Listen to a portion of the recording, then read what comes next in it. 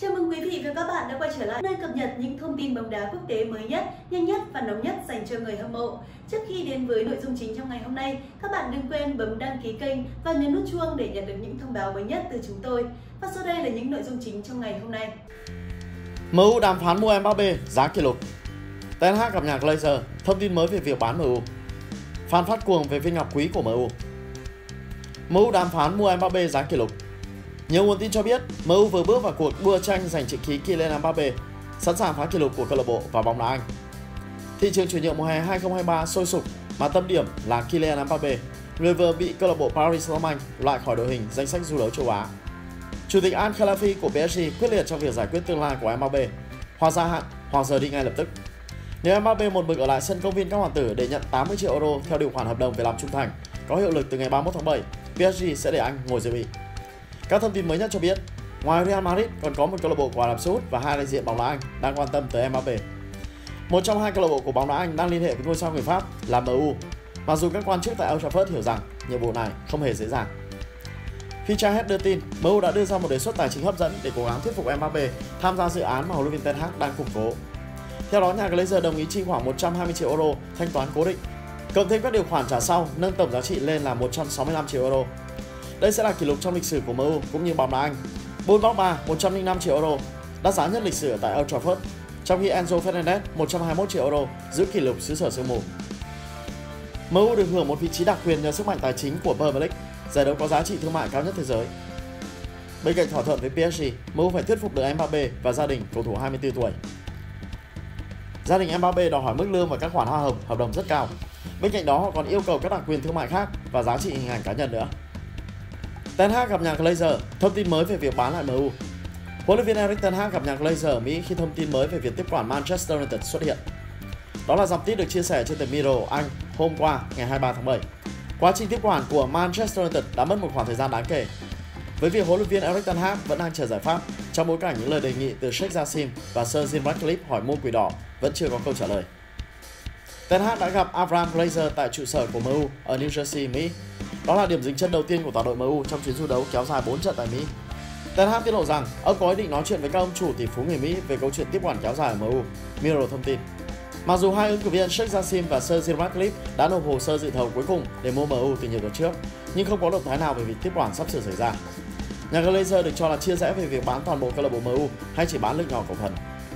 Rain Group là ngân hàng đầu tư của Mỹ được nhà Glazer ủy quyền xử lý quá trình mua bán câu lạc bộ MU, nhưng họ cũng chưa có động thái chốt hạ nào. Sheikh Jassim và Sir Jim Ratcliffe đều đã gửi lời đề nghị xung quanh mức giá hơn 5 tỷ bảng Anh, nhưng không bên nào nhận được sự chấp thuận của gia đình nhà Glazer. Joe và Abraham Glazer được cho là muốn tiếp tục nắm quyền tại United, nhưng những người còn lại trong gia đình tỷ phú người Mỹ thì đang thúc đẩy việc bán hoàn toàn quỷ đỏ. Đó là lý do dẫn đến sự bế tắc liên quan đến quá trình tiếp quản đội chủ sân Old Trafford. Miro bình luận, có thể hiểu Rain Group cảm thấy họ được yêu cầu bán một thứ gì đó về cơ bản không phải để bán, mặc dù các hồ sơ dự thầu chính thức đã được gửi và các cuộc họp được tổ chức với cả hai bên quan tâm. Những người trong cuộc nói rằng việc bán một câu lạc bộ như MU thường mất từ 2 đến 3 tháng. Nhưng nhà Glazer lần đầu tiên tuyên bố ý định bán lại chúng vào tháng 11 năm ngoái, nghĩa là đã cách đây hơn 8 tháng rồi. Mới đây, huấn luyện viên Erik ten Hag đã giải thích vị trí của mình khi nói đến tương lai của câu lạc bộ. Chiến lược gia người Hà Lan nói chuyện với giới truyền thông trước trận đấu giao hữu MU với Arsenal. Đó cũng là quyết định của câu lạc bộ. Ten Hag nói khi được truyền thông hỏi về quá trình đổi chủ sở hữu kéo dài ở MU. Tôi thường xuyên liên lạc với họ, nhà Glazer, nên đây là cơ hội tốt để chia sẻ ý kiến và chúng tôi có thể nói chuyện thân mật. Rõ ràng là tôi có thể đưa ra lời khuyên và khuyến nghị, nhưng quyết định thì lại là ở câu lạc bộ. Bạn đã đặt ra câu hỏi nhầm người rồi. Chiến lược gia người Hà Lan của MU nói thêm khi được hỏi về tình hình bế tắc này có thể ảnh hưởng như thế nào đến hoạt động chuyển nhượng mùa hè của câu lạc bộ.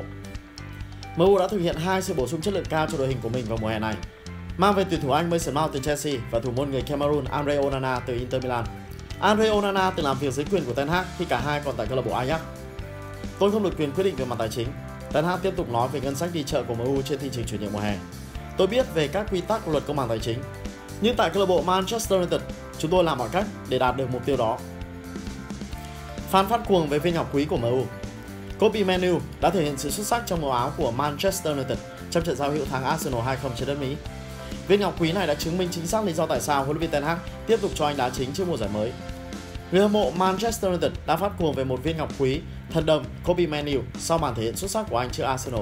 Erik ten Hag quyết định trao cho ngôi sao học viện đào tạo trẻ Carrington mới 18 tuổi này suất đá chính thứ ba liên tiếp trong giai đoạn tiền mùa giải Sau những màn trình diễn tốt của Kobe Manu trong cuộc đụng độ trước đó là Leeds và Lyon, Kobe Manu chắc chắn đã tận dụng tối đa 45 phút của anh trước Arsenal. Chính Manu là người kiến tạo cho tân đội trưởng MU Bruno Fernandes ghi bàn mở tỷ số trong chiến thắng 2-0 của Quỷ Đỏ thành Manchester trước pháo thủ Arsenal. Cầu thủ sinh ra ở Stockport án ngữ ở trung tâm hàng tiền vệ của MU. Kobe Manu kiểm soát bóng sau một đường phát động của thủ môn Tom Hinton. Manu sau đó kiến tạo cho Bruno Fernandes tung ra cú dứt điểm hiểm hóc và sắc bén bằng chân trái, hạ gục thủ thành Aaron Ramsey mở tỷ số 1-0 cho MU sau nửa giờ thi đấu. Màn trình diễn của Manu đã gây ra một làn sóng phấn khích trong cộng đồng người hâm mộ MU.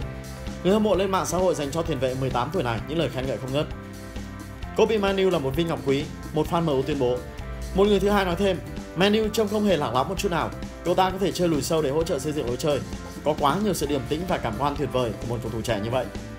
Một người khác tiếp tục bằng cách nói, Kobe Manu đã hoàn thành xuất sắc nhiệm vụ. Cậu ta rất giỏi. Thật kinh ngạc khi chứng kiến sự điềm tĩnh như vậy từ một cầu thủ mới 18 tuổi bước vào đội 1 của MU. Người thứ tư có sự so sánh táo bạo. Declan Rice chắc hẳn đang rất thích học cách chơi tiền vệ bằng cách xem Kobe Manu thi đấu. Kobe Manu, người đã có 3 lần ra sân ở đội 1 của MU, trong đó có một lần đá chính ở mùa giải trước, rõ ràng đang tạo ra niềm tin tốt với huấn luyện viên trưởng Erik ten Hag. Chiến lược gia người Hà Lan ấn tượng với cầu thủ tuổi tin này đến mức không muốn đẩy anh sang một đội khác dưới dạng cho mượn mùa giải tới. Trước trận giao hữu giữa MU và Arsenal ở New Jersey, huấn luyện viên Erik ten Hag đã được truyền thông hỏi về kế hoạch sử dụng Manu. Ten Hag trả lời: Chúng ta phải xem trước mùa giải Kobe Manu sẽ thi đấu như thế nào. Cậu ấy có cơ hội để ra sân bởi vì cậu ấy đã thể hiện điều đó ở đội U21 và trong buổi tập của chúng tôi. Kobe Manu đã thể hiện một phong độ cao và bây giờ cậu ấy cần phải thể hiện điều đó trong các trận đấu. Vì vậy, giai đoạn tuyên mùa giải sẽ là thời điểm hoàn hảo để kiểm tra Kobe Manu. Cậu ấy là một lựa chọn để vào đội hình thi đấu và sẽ có thời gian thi đấu. Chúng tôi sẽ xem, nhưng tôi tin rằng Kobe Manu sẽ có thể làm được và chúng tôi phải chờ xem điều đó có xảy ra hay không. Fan phát cuồng về viên ngọc quý của MU Kobe Manu đã thể hiện sự xuất sắc trong màu áo của Manchester United trong trận giao hữu thắng Arsenal 2-0 trên đất Mỹ.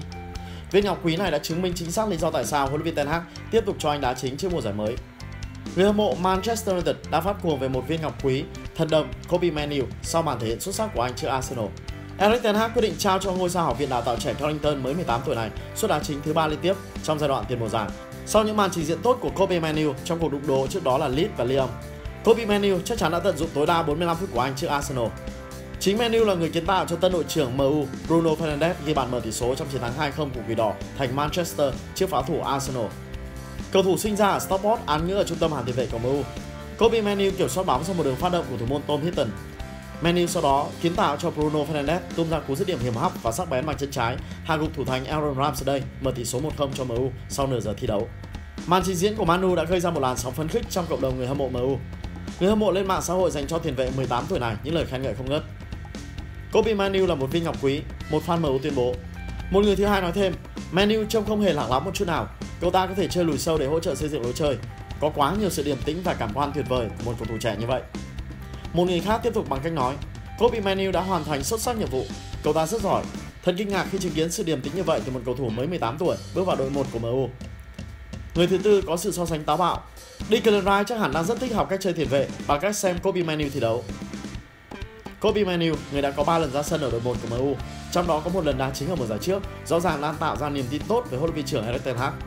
Chiến lược gia người Hà Lan ấn tượng với cầu thủ tuổi tin này đến mức không muốn đẩy anh sang một đội khác dưới dạng cho mượn mùa giải tới. Trước trận giao hữu giữa MU và Arsenal ở New Jersey, huấn luyện viên Erik ten Hag đã được truyền thông hỏi về kế hoạch sử dụng Manu. Ten Hag trả lời: Chúng ta phải xem trước mùa giải Kobe Manu sẽ thi đấu như thế nào. Cậu ấy có cơ hội để ra sân bởi vì cậu ấy đã thể hiện điều đó ở đội U21 và trong buổi tập của chúng tôi. Kobe Manu đã thể hiện một phong độ cao và bây giờ cậu ấy cần phải thể hiện điều đó trong các trận đấu. Vì vậy, giai đoạn tuyên mùa giải sẽ là thời điểm hoàn hảo để kiểm tra Kobe Manu. Cậu ấy là một lựa chọn để vào đội hình thi đấu và sẽ có thời gian thi đấu. Chúng tôi sẽ xem, nhưng tôi tin rằng Kobe Manu sẽ có thể làm được và chúng tôi phải chờ xem điều đó có xảy ra hay không.